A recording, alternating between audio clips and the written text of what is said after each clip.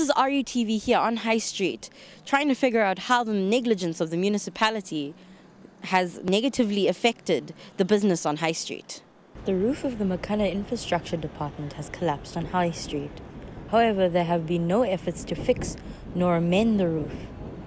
We spoke to Mr. Mtutuzeli Mklaba about the damage. Yeah, for me, if I can tell you, it's that uh, it's a deteriorating state of the roof because what is happening this building, they were built in 1950s. So actually, for the past years, they were not maintained. And then we, but the problem is when you fix the roof first, you must start uh, the building, you must start with the roof. And then we, we are planning to, to fix it within the process of uh, the next uh, the opening of the new financial year which is starting in July.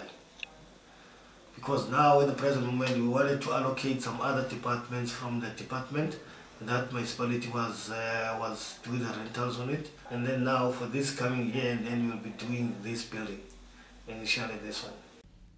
However, the continued lack of care on High Street has affected local owned businesses such as Videotronic and Night Shoes. Infrastructure actually affects us con confidence because people don't invest in town, they don't come, come to town, bed and breakfast, don't buy new TVs, they don't, they don't um, in, add to, to the services um, which affect our, our, our, business.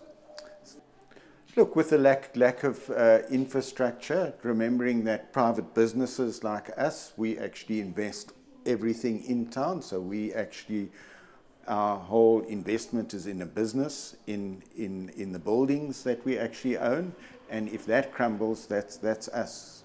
You know, our investment is, is actually not a very good investment at the end of the day. Other businesses, such as Nice Shoes, have also been seeing how their tax money has not really fixed the town. So as a business, we're a closed corporation, so we pay a lot of taxes and the rates and um, monthly uh, accounts with uh, Makana municipality and we don't know where the money goes. Apparently they have a lot of uh, big wage bill but what, what we've done as, as Residents Association, we've done um, fundraising amongst businesses to actually fix the roads ourselves. Like we've got a, a jet patcher machine to, to fix the potholes um, on our own expense as a, as a group. Through our investigations, we have found how the municipality is still failing the business sector of the town.